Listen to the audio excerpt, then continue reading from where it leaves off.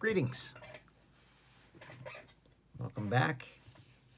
We've been taking a look at um, a couple of chapters here on economic geography. Uh, this uh, time around, we're going to be taking a look at um,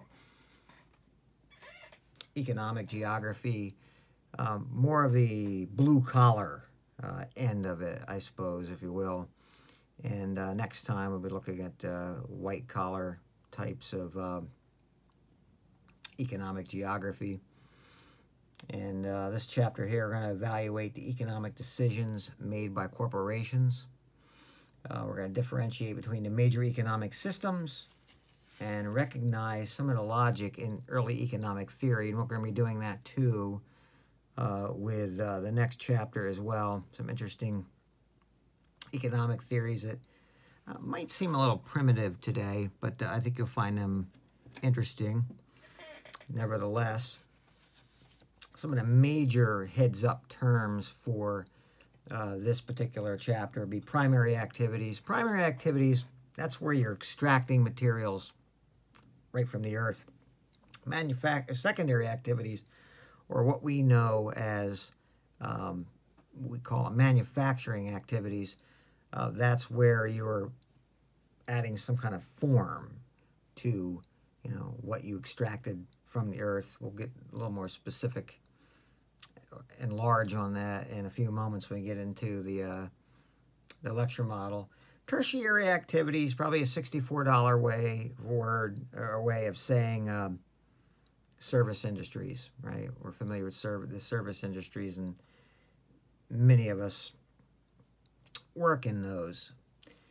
Uh, let me see what else we're going to take a look at in this um, sec. Free markets. So we take a look at free markets. Free markets are, you know, for profits, right? For profits, private sector, you know, little regulation, right?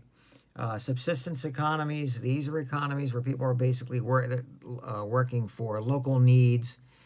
Eh, they operate for, you know, off of some profit, but uh, not a lot. Local needs. Um, family needs, so forth. You see this primarily in developing countries and third world nations. Uh, planned economies, think of your forms of communism, maybe some of your more extreme forms of socialism, uh, where um, everything's top down, right? Economic decisions are made by by the government. We're going to be taking a look at a couple of uh, different types of agriculture, intensive, subsistence, and extensive subsistence. If subsistence agriculture is for local needs and uh, not doesn't really lean a lot on profits. Intensive subsistence agriculture is primarily where you have low or uh, little little plots of land, but you have a lot of um, a lot of people to work it, right? A lot of people to work it. Uh, generally, you're going to find this in more uh, higher populated areas. Again, developing third world nations. Then your extensive subsistence agriculture, large plots of land, little uh, uh amount, little amounts, small amounts of um, of uh, labor, right, to work on that. I'm going to introduce you to a guy named John von Thünen. John von Thünen's economic models uh, where von Thünen felt that uh, with certain plots of land, you could grow certain things, but you had to be near the markets in order to grow certain things. And the farther you got out from the market, uh, you would see uh, various types of production, uh, agricultural production. Uh, dairy products, and we'll get into this a little bit more. Dairy products were uh, dairy farms would be closer to the, the agglomeration, the markets, and the farther you go out, uh, you know, less uh, in demand products, um, you know, livestock raising, grain farming, and so forth. More on that uh, shortly. And then maximum sustainable yield, we'll um, talk about that. Maximum sustainable yield, basically, uh, whatever you're doing out there regarding, you know, gleaning from nature. If you're fishing, you know, don't overfish, right? Don't overfish to the point where you'll never be able to get back to the baseline of how many fish were there when you started doing that. And of course, we're talking about uh, commercial fishing, right? So, without any further delay on this, let's take a look at um, economic activities.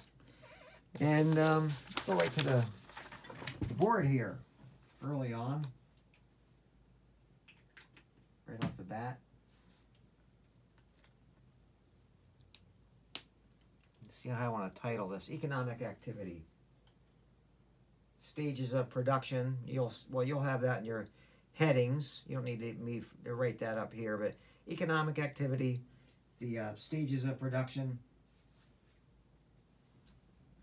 The first of those, primary activities. I'm going to sit down. Temptation is to stand up, but, uh, I find my writing up here is a little less legible when I'm standing.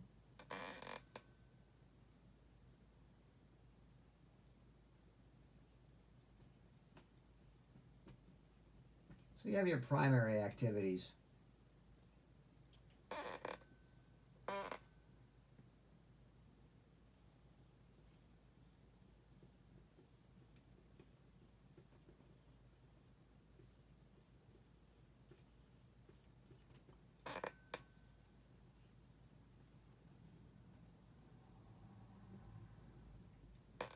should be harvest. Spelled out wrong. Harvest. H A R V E S T.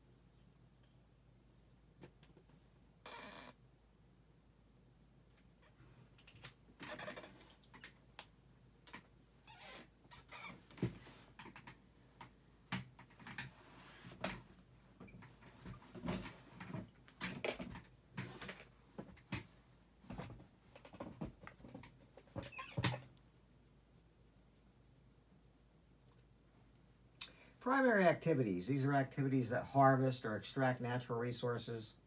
Secondary activities, they add value to primary activities by providing form, uh, utility, some kind of form utility through processing and manufacturing. And then your tertiary activities, right? You're, you're talking about the service industry and uh, the, maybe the lower rungs of the service industry. You don't necessarily have to have higher education, right? Uh, activities that connect the producer and the consumer through wholesale and, uh, and retail trade. Now, a couple of visuals uh, that you can check out, uh, you know, in accompanying uh, these uh, this section here on um, Figure 9.3, uh, page 250 is a, a, really nice visual there of um, the transition from primary activities to um,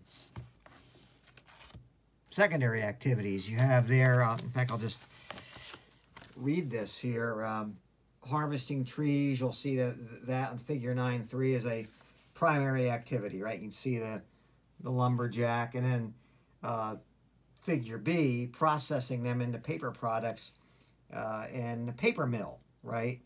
Is a secondary activity that increases their value by altering their form. Right, the products of many secondary activities would be sheet steel from uh, sheet mills, for example, that constitute uh, raw materials, you know, the primary activities uh, for other manufacturers.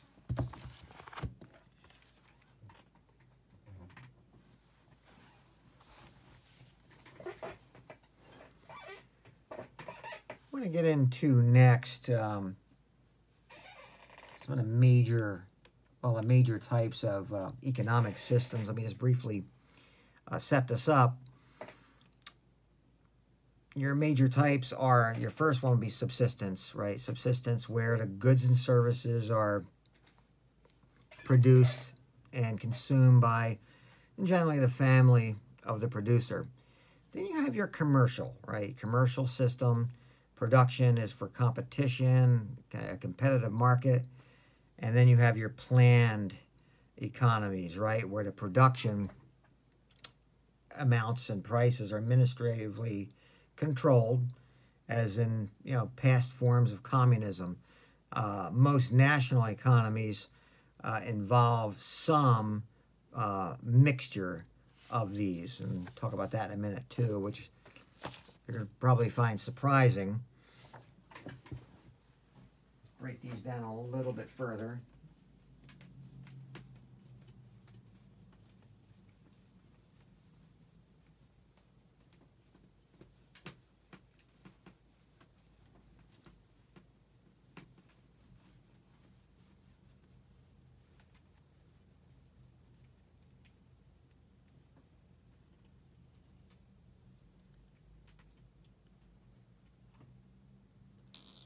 Major economic systems, the first, subsistence.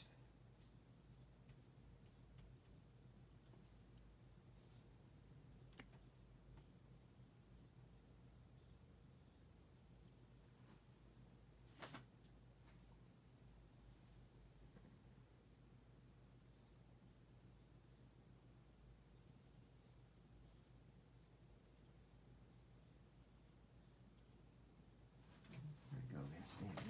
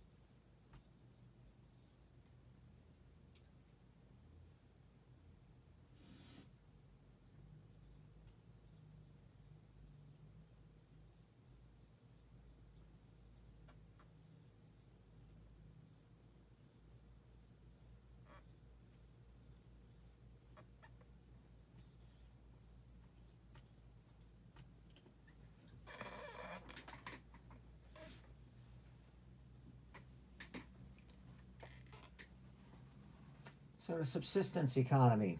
There's not much need for a market since what gets produced is consumed by the family uh, of the producer.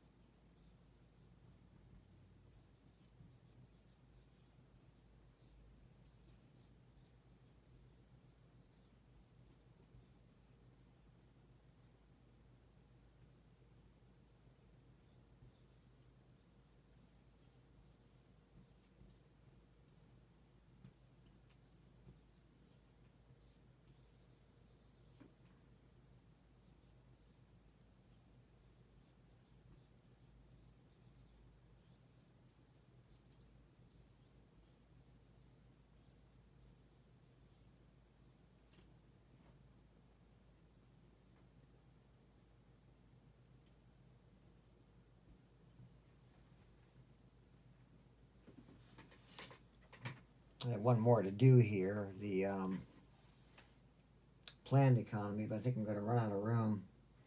We'll just talk about these briefly and then um, I'll erase this and finish up this point here. Um, subsistence, uh, there's not much need for market since what gets produced is consumed by the family of the producer. Commercial, this is where production's for the competitive market, right? Producers market their goods for profit based off the law of supply and demand. I would add, too, that um, I don't even think it's arguable that um, this type of economy is the general rule around the globe uh, today.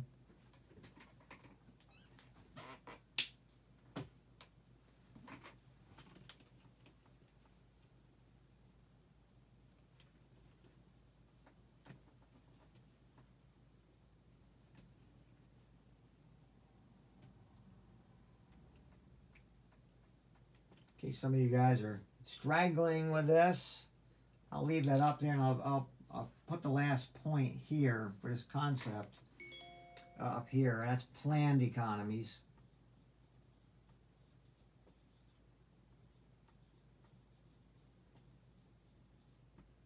Well, I guess I'll keep that up there as long as this fits.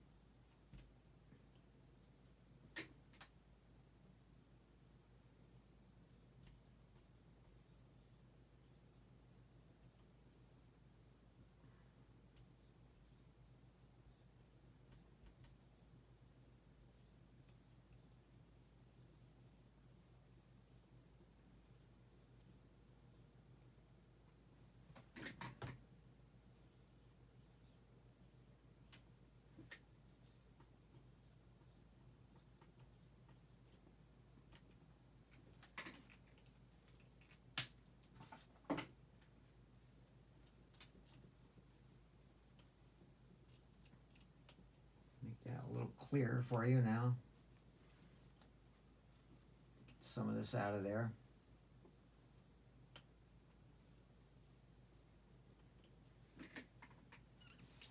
Feel a little bit like Bob Ross. Planned economies, government controls the price. They determine the economic questions how much gets produced, for whom, and when, right? How much, for whom, and when. These are prevalent in communist societies. Again, a little economics here. Uh, for those of you who are, um, I'm saying this all sem- off and on all semester, for those of you who are looking to get into uh, education, teaching, if you know geography, you can teach all the other social sciences because it really deals with all of it. As I'm sure you're seeing that as we go along uh, in the course. Now, just uh, kind of uh, add a little bit to um, this particular point here, major uh, types of economic systems. Um, and, and, I said earlier, you're going to find, a lot of people find this surprising, but it's true. Uh, it, you'd be hard, hard pressed looking at our lecture model, Phil's here. Uh, you'd be hard pressed to find an economy that was purely one way or another, you know, purely planned, uh, purely free market, or even purely subsistent. And some examples of that would be in China, right? Communist China. In communist China, that planned economy has been modified for free market structures. For free market structures.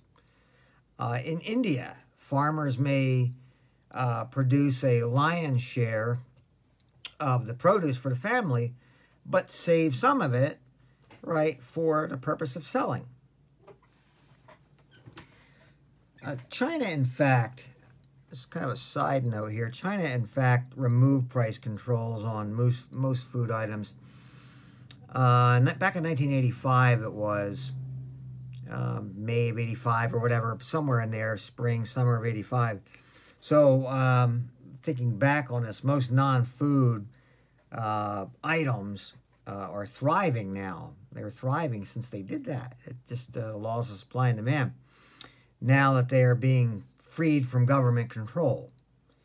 Uh, privately owned businesses are growing twice as fast in China uh, as the rest of the uh, economy. China would probably be, a lot of people get the term fascism uh, mixed up with a lot of things. Fascism is basically, uh, it's really not too much different than communism, but the government kind of takes its hands off of the private sector, I guess. They have a, a, a, private sector that they know, you know, they can allow them to operate off profits and add, perform some kind of a, provide some kind of incentive uh, for those individuals. And, you know, the economy kind of booms. But at the end of the day, the government kind of monitors and manages the private sector, right? Very different from uh, you know, United States and Western democracies that are more free market uh, oriented. Speaking of which, the United States, in the United States, a free market economy, you know, generally. Uh, here, we're not purely free market in that the government places regulations on, you know, maybe some professional services, uh, the sale of alcohol, right? Uh, real estate transactions, et cetera, et cetera. You get the you uh, get the picture. You see, I have figure 9-5 here down. Yeah, figure 9-5 you may find interesting. Figure 9-5, uh, two contrasting views of income. And it's a map of basically wealth, right? Where the wealth is, in terms in connection with what types of economies you have. And you'll see there, you know, the more liberalized your economies are, uh, the uh, the greater wealth, the, the wealth, and uh, figure 9.5 on page 252, uh, the, the uh, darker shades are um, where uh, you know your you have your you know your best economies, right? So there you have that. I want to start moving next into uh, agriculture techniques. And uh, this section here will be some fills. And uh, I want to set this up before we get there, and then we'll break it down uh, even further. Um, agriculture is um, the most widespread primary activity uh, in the world, uh, occurring whenever uh, environmental conditions permit it. Uh, subsistence, uh, agriculture, or what I'm going to talk about here, intensive or even extensive, implies nearly total uh, self-sufficiency. Kind of a side note with that, um, the, the Green Revolution, which some of you may have heard of, the Green Revolution um, has expanded yields uh, in some of these areas, generally developing nations, right? Talked about that earlier. Uh, so the Green Revolution expanded some of the agricultural yields of, but not the amount of farmed areas um, in um, you know developing world regions uh, agriculture uh, in these areas in, uh, uh, uh, is a little different from your advanced economies such as ours. In the advanced economies, we have a lot of specialization, right? Because of, you know we can afford um, up-to-date technologies, you know, off-farm sales, and reliance of you know controlled free markets to an extent. green Green Revolution was um, uh, aided by you know Western technology for some of your poorer developed regions, and what that did was uh, it uh, provided seed management um, and uh, generic improvements to seeds, um, disease-resistant seeds, um, fertilizers, disease-resistant fertilizers, and then with this you'd have these, you know, you'd have high put high input agriculture. Some of the negatives, there were some negatives to this too. Uh, irrigation and uh, irrigate some irrigation mismanagement, uh, pesticides, right? Spraying of pesticides. And uh, with Green Revolution was probably a loss of some uh, nutritional diversity, right? Uh, along the way.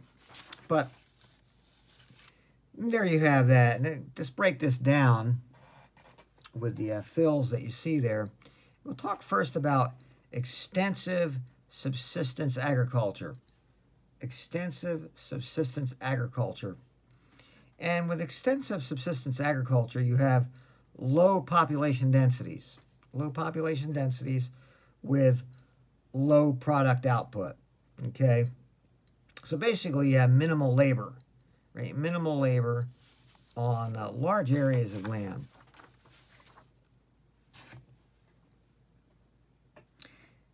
Then there's intensive subsistence agriculture, and kind of keep this certainly in your back burners of your minds here as I get as I talk about um, well both of these concepts as we get to John von Thünen here in a few minutes.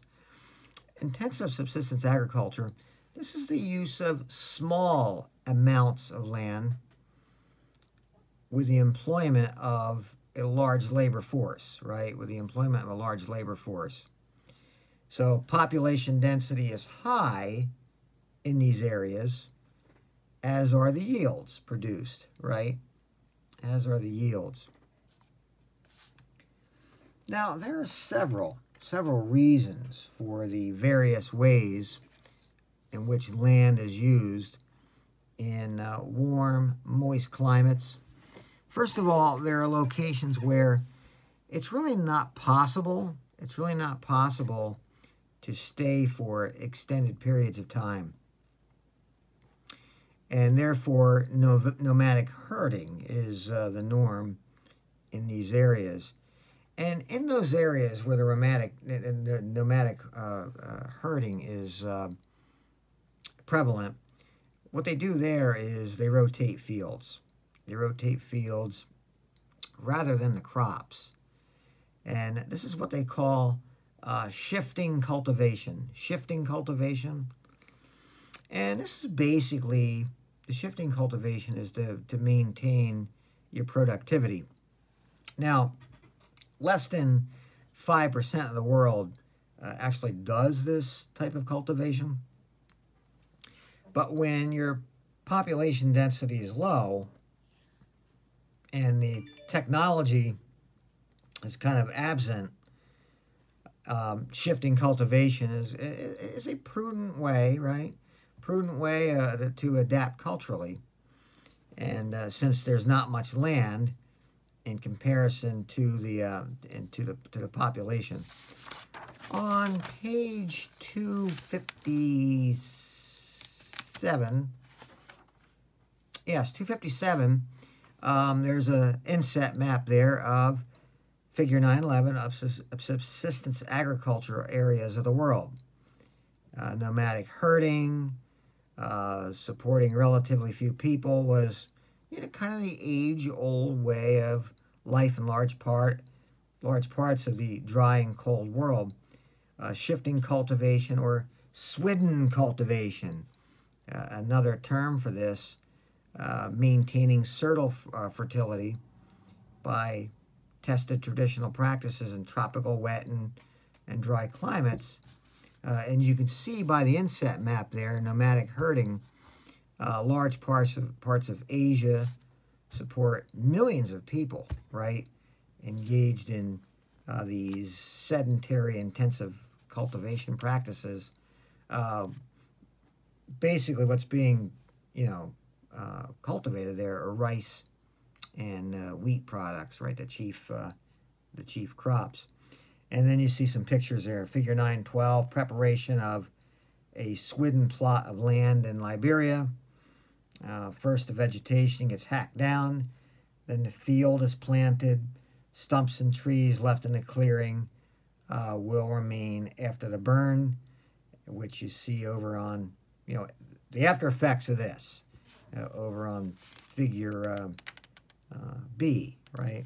Some, some swidden plot of land in uh, Liberia. Some other names for this I meant, just mentioned are Swidden or Slash and Burn, right? Slash and Burn, you may have heard of that. So you kind of burn up uh, in one area, burn up land in one area because the you know the bigger area is being used, and then the ground you know needs to follow um, after it needs to remain fallow after the second clearing. Kind of the idea behind that.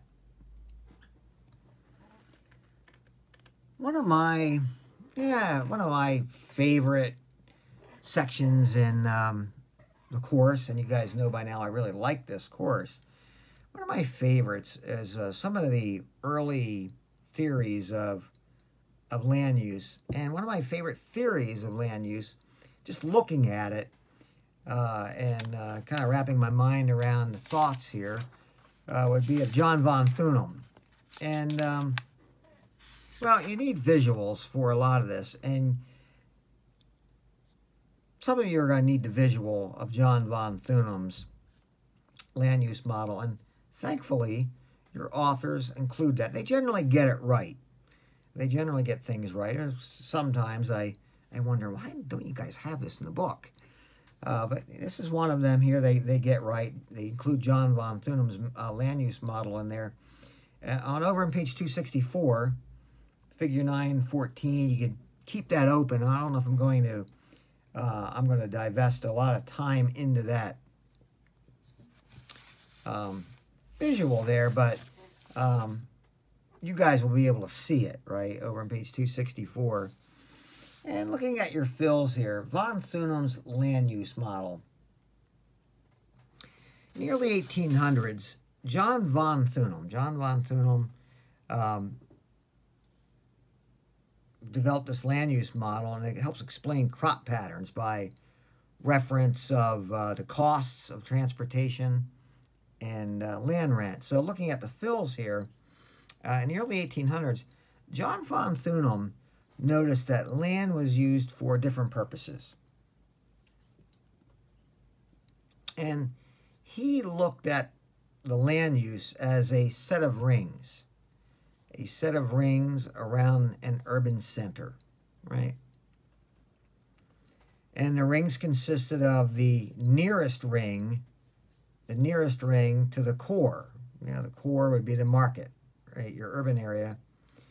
The nearest ring to the core is being used for perishable items, right? Perishable items that were high in demand, yet expensive to transport.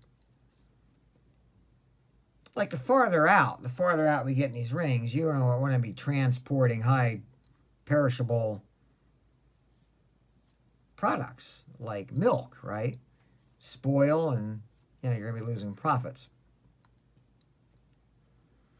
Therefore, the land was of high value. Closer you get to the core, the high in demand materials or uh, uh, products such as milk and vegetables be high in demand, right?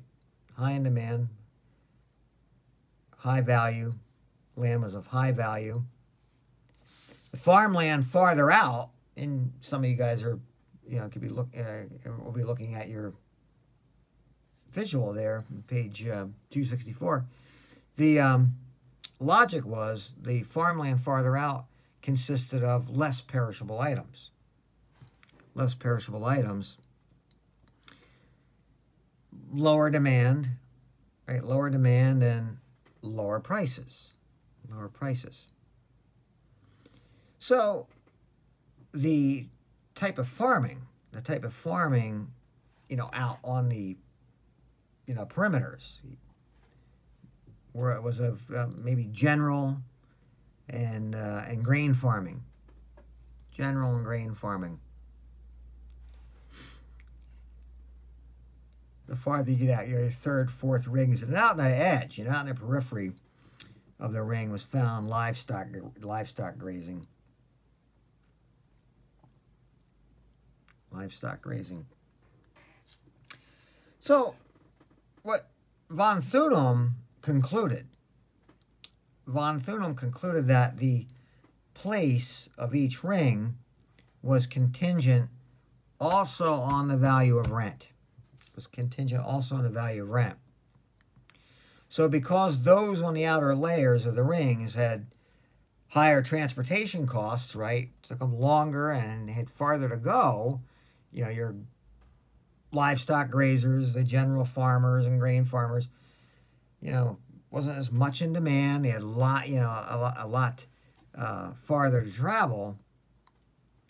The land value would be cheaper, right? To make it easier on them, the land value would be cheaper. You know, thus allowing a livestock grower, for instance, a, a chance to compete. Thus, the theory was dubbed von Thünen's rings. Von Thünen's rings. Now, I had mentioned, uh, uh, you know, a few moments ago on the last uh, concept about intensive subsistence farming and intensive uh, or ex uh, extensive subsistence farming. Intensive subsistence farming is we have, you know, small plots of land and a lot, you know, a lot of people. So intensive farming would then take on high value and would have higher rent right? Because the closer you get to the city, you're not going to have as much land to farm, right? Closer you get to the core areas, but you're going to have high demand, high demand products there, and you're going to have a lot more people to farm it, right? Because you're closer to the poor, to the uh, the cores. So intensive farming would then make take on a high value and, and would have higher would have a higher rent.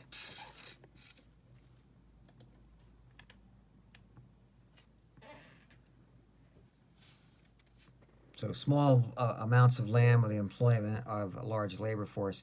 However, however, as the urban areas got bigger, got bigger or multiplied, uh, this could change uh, von Thünen's theory uh, thus causing most of the agriculture to become intensive and, and um, high labor. Now, your lab for this week, uh, you'll I'll be distributing some maps uh, to you, and uh, you'll be playing around with, you know, where farms are. You know, where farms are in Somerset County, and uh, how accurate was um, von Thünen's theories, right? And um, yeah, I don't know if Somerset's big enough. The, the borough is big enough to consider that a an urban area. We might look at Johnstown in connection to Johnstown and play around with that. So there you have it. There, John von Thünen's rings. I, I like, like I said, I like these early economic theories. We'll take a look at one uh, um, next time. Alfred Weber, uh, and where you uh, when we get to chapter ten, how what's the optimum early economic theories for constructing plant locations, right? Factories. Another cool um, study. And then finally, I want to take a look at uh, primary activities, enlarge on that uh, a little bit more, and um, take one more set of notes here. Talk about primary activities. We're looking at you know primary, primary, primary activities: forest, forestry, uh, fishing, uh, mining, and quarrying are other forms of you know primary activity, economic activity, and their acti- their their development really depends uh, on the occurrence of uh, perceived resources and the technology that you, you know one has to uh, exploit them. Let's uh, turn our attention to that, and then I'll wrap it up here with the uh, the uh, lecture model, and uh, we'll call it a day here.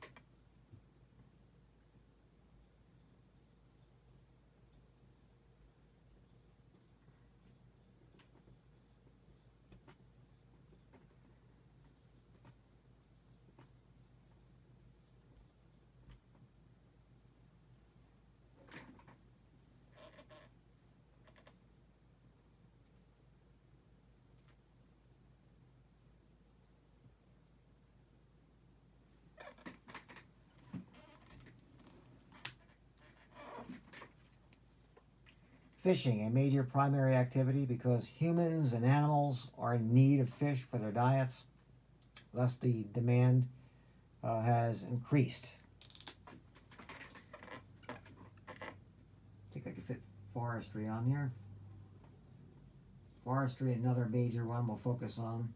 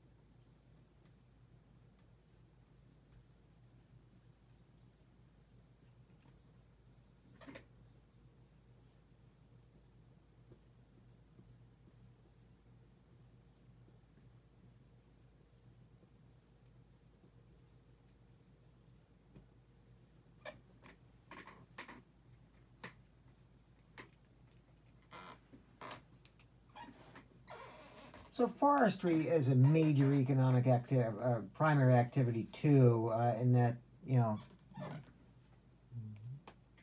forests cover one third of the you know the surface of the globe. Makes it uh, formidable uh, primary, uh, a formidable um, component, right, for primary activities because there's so much of it. But ecologists and environmentalists are concerned. Uh, they, for what they think they see, they they um, think they see a lot of widespread exploitation. Um, you know, with you know commercial, you know, commercial lumbering industry, right? The usual suspect with these um, with these concerns and, uh, and cattle ranching.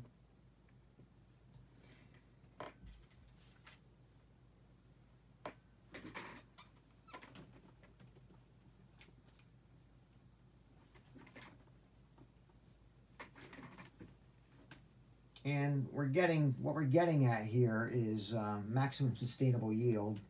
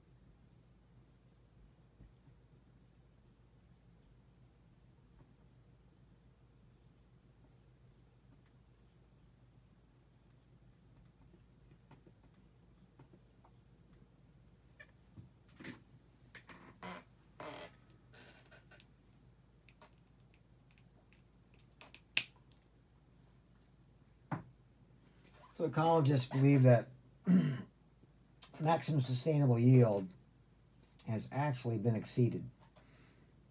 That maximum usage, whether in the forests or out on the waters with fishing, has actually impaired renewability. We're not going to be able to get back to the baseline of, um, you know, where you know, how many trees there were in certain areas or fish. Um, the good news, maybe on the fishing front, is um, I'm, it was 1989, I believe it was. Exxon Valdez had a um, major oil spill, and uh, there was, um, well, obvious concerns about that, whether you know, that oil spill would, you know, impair renewability. Um, in the last 10 years or so, there was a study that um, found that the fish life up in the Puget Sound area, and we're talking about uh, off the coast of um, Washington State, right, Pacific Ocean. There was a study that found that the the fish life actually pretty much uh, uh, funneled out to where it was at uh, before the um, you know before the oil spill, and of course a lot of people were just a lot of people were saying uh, in regard to this that you know Mother Nature, and it kind of gets into the uh, the global warming, climate change thing too that some of you guys are looking at with your papers. Uh, it gets gets into the argument that if you just leave Mother Nature alone, it will, you know, Mother Nature. You don't want to harm it, but it will take care of itself. It's just much too big. It's been around so much more long, uh, so much uh, longer than we have. So there you have that um, maximum sustainable yield. Just kind of recapping, and we'll talk about uh, what's up ahead here. Uh, we looked at economic systems today. Subsistence economic system, um, consumed and produced by the family. Uh, commercial economic system, goods are, you know, marketed for profit. Planned economic system, government controls price. No economy, though, I said, though. No economy. Looks like it might be a good quiz question. Uh, no economy is purely one way or another, right? Types of agriculture. You have your extensive subsistence agriculture, low population densities and low product output, little labor on large areas. Uh, intensive subsistence agriculture, large labor force, large labor force on small amounts of land, high population density, uh, high crop yields. Uh, shifting cultivation or slash and burn, swidden cultivation, right? Warm, moist climates, uh, field rotation, nomadic farming, Asia, Africa, right? You guys have your visuals that I gave you. You can check out, you know, in your books. Uh, let me see where we at next. Uh, John von Thünen, right? John von Thünen's rings um, based off land use, right? There was a set of rings around an urban core uh, with, uh, you know, intensive subsistence, subsistence farming in those areas, um, contingent on the value of, uh, of rent, uh, high demand perishable items closer to the core, higher land rent value there, um, expensive to transport that stuff. And then you have your less perishable, lower demand items farther out, right? Lower rent value, higher transportation co uh, costs, right? Von Thünen's rings, known as Von Thünen's rings. And then fishing and forestry, you know, concerns there about, you know, being, you know, beyond renewability, right? The usage of it, basically called a maximum sustainable yield right? Going beyond the baseline of wherever, you know, uh, being able to renew that. There's been so much fishing or forest, uh, foresting. So, what I'm going to do, uh, in case you didn't see it yet, there's a link uh, for, um, make sure you fill out your link. Uh, fill out your forms there, your, your worksheet on comprehension questions. I have comprehension questions to uh, accompany this. And then um, I will be in touch with you uh, sometime tomorrow uh, in regard to some practice material.